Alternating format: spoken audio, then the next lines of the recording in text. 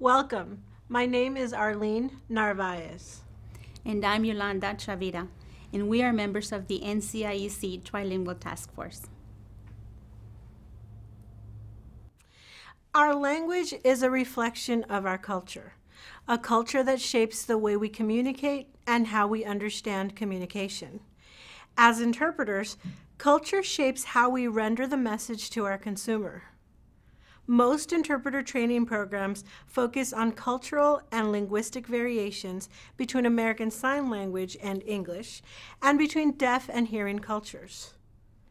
The trilingual interpreter, especially when working in video relay, is working with people from a variety of Spanish speaking countries with linguistic and dialectical variations and cultural nuances. It is no wonder that they are said to go around the world in a day.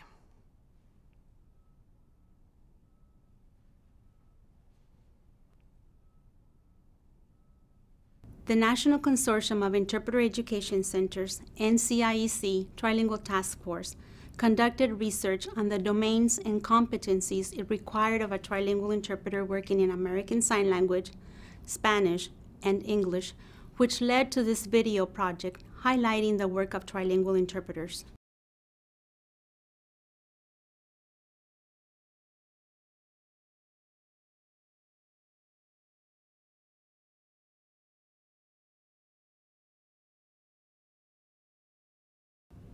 There are very few video resource materials and training opportunities for trilingual interpreters using research that identifies skills and effective practices. This video program is for educational and training purposes and is intended as a tool for students and prospective trilingual interpreters. However, in addition to interpreters, this video program is a valuable resource for teachers, trainers, hiring entities, and interpreters working alongside trilingual interpreters. Anyone in the interpreting field can benefit from this educational resource. What you will see are four scenarios. Two were filmed in Los Angeles, California, and two were filmed in Austin, Texas. The two filmed in Los Angeles include a parent-teacher conference and a mock VRS call. The two filmed in Austin include social services and education and counseling, including working with a CDI.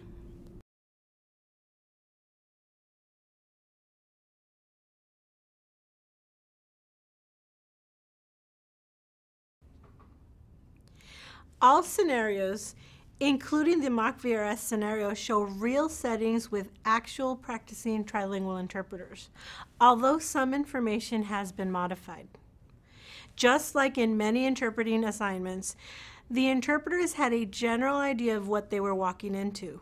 None of these scenarios were scripted. The content of each scenario is typical to the work of a trilingual interpreter.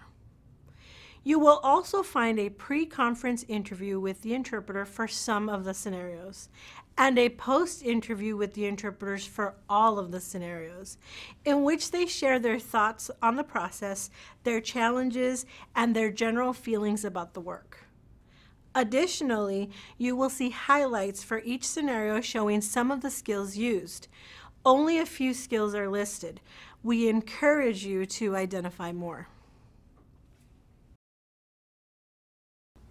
We hope that you will benefit and learn from this tool as much as we did in bringing it together.